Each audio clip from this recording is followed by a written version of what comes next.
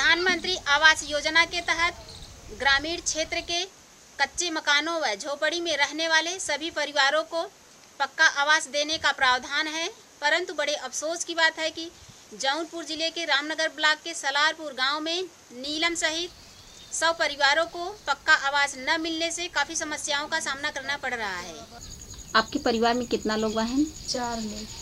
खेत बाग? खेत एकदम नहीं बाटे खाली है, घर दुआर बाटे। तवन उह सास ससुर के बनाई में बाटी, उह गिरा पारा बाटे। लाइए के पन्नी लगाए, पन्नी बारिश भवा फट गया। तब उह बोड़िया उड़िया सी के रखे रहे, तब लगाए। ज़्यादा बारिश होत है तो डर लागत है कि गिर न जाए। गदेला लेके सोई रही थे तब निकल जाए थे बाहरे। जब पटा थे तब आई थे सोई थे प्रधान से मिली रहे, बात करे रहे। का कहें? कहाँ कि चला हाँ भरवाई देवे आए तो बने। आपका आवास बना है? नहीं।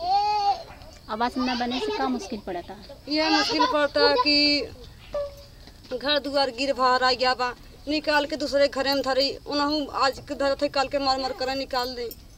आगे आवास बिना आप प्रधान से या ब्लॉक पर कहीं मांग करे रही हाँ? प्रधान करे रहे जेकर पावत हैं तेकर घुसपताई पावत हन करत हन हमरे ना बतेवे कि खाई मुस्ताद भाई दे कहाँ से?